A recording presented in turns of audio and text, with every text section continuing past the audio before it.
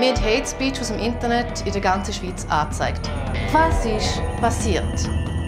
Wir sind gestoßen auf absolut ahnungslose Polizisten und Polizistinnen und ein Gesetz, das einfach gar nicht angewendet wird.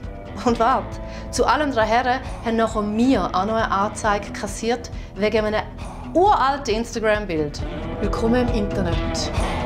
Im letzten rechtsfreien Raum der Schweiz. Antisemitische Kommentare, rassistische Kommentare und queerfeindliche Kommentare. Wohin das Auge reicht. Aus Ende. Ich räume auf.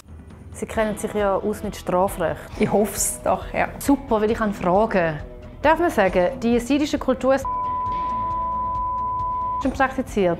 Der strafbar ist ein klarer Verstoß gegen die Diskriminierungsstrafnorm, das heisst gegen Artikel 261 bis vom Strafgesetzbuch.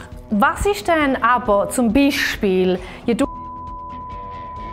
du ja, das ist strafbar. Also, Entschuldigung, also Sie, Sie kennen sich aus anscheinend, aber dennoch, ich habe das alles im Internet gefunden. Es ist leider eine traurige Realität, dass wir im Internet viel so Posts haben. Ist auch darum ein Problem, weil es halt natürlich auch in Hass umschlägt, wo bis zu Gewaltakten führen können. Darum haben wir auch im Internet grundsätzlich genau die gleichen Grenzen wie überall sonst. Und wenn Sie so etwas lesen, dann machen Sie Anzeige. Also ich? Ja, es ist ein Offizialdelikt. Das heisst, jede Person kann Anzeige machen und die Strafverfolgungsbehörden müssen nachher ermitteln. Say no more. Ich muss aufräumen im Internet. Danke vielmals. Tschüss. Ich zeige nach. Aber hey, das wird schwierig, weil ich bin viel zu berühmt für das. Hallo Martina. Hallo Luisa. Es ist so, das Internet ist ja full of Hate Speech. Es gibt aber ein Gesetz, wo man das anzeigen kann. Also wirklich bei der Polizei. Jetzt bräuchte ich aber deine Hilfe. Several days later. Hi Martina. Hey Gülscha, du glaubst nicht, was mir passiert ist. Ich bin jetzt auf der Polizeiposten zu Königs an Schalter gegangen und habe gesagt, ich will eine Anzeige wegen Hate Speech im Internet aufgeben. Der zuständige Beamte dort hat mich ähm, sehr konsterniert angeschaut ähm, und gefragt, was das soll, ob ich jetzt jeden Tag mit hunderten so Kommentaren komme und äh, die Mühlen der Justiz will anlegen Er hat die Kommentare trotzdem mitgenommen und ist in seinem Büro verschwunden. Nachdem ich zwei Stunden gewartet habe, ist er wieder gekommen und hat mir gesagt, ich könne am Mittwoch am 10 Uhr vorbeikommen und die Anzeige aufgeben. Und, und, und dann? Ich bin dann wieder auf den Polizeiposten gegangen und der Beamte hat mir die Anzeige vorgelesen, die ich aufgegeben habe wegen Verstoß gegen Antirassismusstrafnorm. Ich habe die dann unterschrieben und habe gemeint, die Sache erledigt. Und er hat mir aber dann gesagt, stopp, jetzt kommen wir zum zweiten Teil. Er hat mir dann ein ausgedrucktes Foto hergelegt, wo ich darauf zu sehen bin, wo ich Militärhose nachhabe. Ich habe das Foto erkannt. Das war nämlich von einer Kostümparty, die vor etwa drei Jahren mal stattgefunden hat. Da ist mir dann klar geworden, dass er mich auch gegoogelt hat, weil ich das Foto auf meinem Instagram-Account aufgeladen habe. Ja, ich musste lachen. Er hat mir aber gesagt, dass das nicht lustig sei, weil das sei nämlich ein Offizialdelikt und er müsse ermitteln auch wenn er nicht will. Das ist völlig grotesk. Also es ist natürlich nicht die Idee, dass wenn jemand Anzeige erstattet, dass die Polizei dann gegen diese Person ermittelt, ohne jegliche Anhaltspunkte. Wir sagen dem Phishing Expedition. Das ist so nicht erlaubt. Es überrascht mich auch sehr. Es ist aber auch schade, weil wir wollen Vertrauen in Behörden haben, dass wenn ich dort angehe, dass ich ernst genommen werde und sicher nicht nachher ich zur Zielscheibe werde. Also das ist doch sehr enttäuschend. Die Kantonspolizei Bern hat dann auf Anfrage von uns geschrieben, wir empfehlen Bürgerinnen und Bürgern, potenzielle Verstöße gegen Rassismusstrafnormen im Internet der Kantonspolizei Bern zu melden. Zum konkreten Fall möchten sie sich aber nicht äußern. Oh. Tschüss, Martina! What the fuck? Aber also, das ist ein Einzelfall. Das spüre ich doch. Ich würde sagen, wir schauen hier wirklich schweizweit bei verschiedenen Polizeistationen, was hier rauskommt. Hallo! Ich komme direkt zur Sache. Ich brauche eure Hilfe. Ich habe sieben Kommentare aus dem Internet, die ich gefunden habe. Ich habe das abgecheckt mit verschiedenen StrafrechtlerInnen. Die sind potenziell strafbar. Die gebe ich euch mit. Und die sollte man eigentlich können bei der Polizei anzeigen ja, das sind Kommentare aus dem Internet. Da weiß ich jetzt nicht, ob wir zuständig sind. Am Schluss hat der Polizist im Thurgau gesagt, er soll doch das nehmen und in Zürich bei der Staatsanwaltschaft zur Anzeige bringen.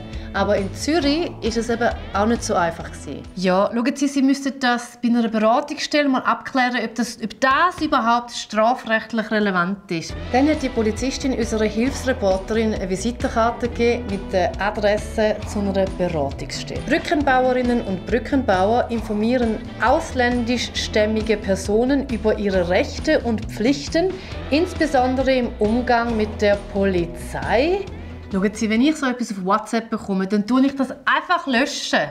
Mir kommt im Traum nicht in den Sinn, das bei der Polizei anzeigen. Und das ist alles von der Meinungsfreiheit deckt. Aber richtet sich die Kommentar jetzt gegen Sie persönlich? Nein. Ja, sehen Sie, dann können Sie auch nicht eine Anzeige erstatten, wenn das nicht gegen Sie gerichtet ist. Also wenn jemand etwas Homophobes im Internet schreibt und ich möchte das zur Anzeige bringen, kann ich das nur, wenn ich schwul bin. Nachdem das der Polizist dann noch etwas nachschauen im Computer, hat er sich überreden lassen, dass man schon eine Anzeige machen kann. Schauen Sie, das bringt nichts.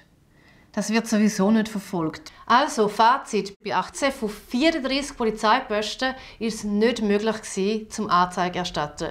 Auch nicht, wo unsere Hilfsreporter und Hilfsreporterinnen insistiert haben. Es ist wirklich schwierig zum Aufräumen. Das Internet ist wirklich wild. Hey, nicht alles ist so schlimm gelaufen. Ein Polizist hat absolut alles richtig gemacht, sogar mehr als er hätte müssen.